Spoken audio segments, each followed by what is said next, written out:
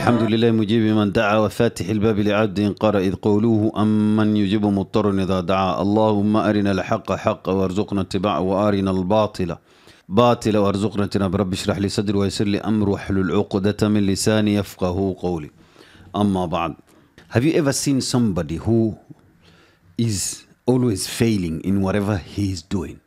This individual struggles in whatever he is doing.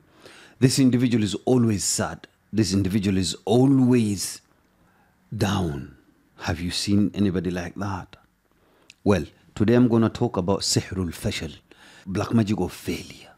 Black magic of failure is one of the magics out there, hits people, and there is a lot of people have this. They are failing in everything of their life. They don't know what's going on with them, but they are failing because of the magic that has been done on them. They, whoever envious, it goes to magician and tell the magician that I need the person to fail in everything in his life. And then they do it. Boom. And when they do it, the person, everything he touches, he fails. And he will be bombarded by jinns. Whatever he does will be a failure. What are the symptoms of this uh, sihr al-fashal, black magic of failure? The individual, if his work, he will go and work two days or three days and then he drop off. Because the jinni are putting so much pressure on him and they are whispering to him, you become a failure.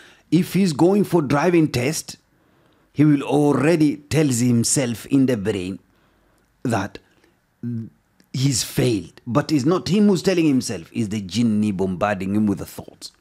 If he studies, he will drop from the studies. He will go and study a little bit, university, college, whatever, he will drop. If his marriage, exactly the same. His marriage will fail, whether it's a man or a woman. Looking after the children will be failure, will be very tough to look after the children. If the husband, it will be very tough on him to look after the family if his job or if it's a business, his business will go to dust. If he doesn't have anything, he will go until he become a beggar. This is Sihrul Fashal, black magic of failure. This is one of the magics where magician does mal'un la'natullah, may Allah curse be upon them. They do it on the person until the person becomes into this situation how to move forward, how to treat oneself. Dua ila Allah, adhkar morning, evening, and charity. If the individual doesn't have anything, let him do fasting and istighfar a lot and read Surah Baqarah, verse 109, Surah Imran, 130, Surah Al-Isra, verse 30. Read this ayat with the Surah Al-Baqarah together and read it on the water and drink the water. And if it's done in the house or car or anything, sprinkle this water in that area frequently until your situation will improve. Hold tight to Surah Al-Baqarah, your situation will improve by Allah. وآخر دعوانا وسلام على المرسلين والحمد لله رب العالمين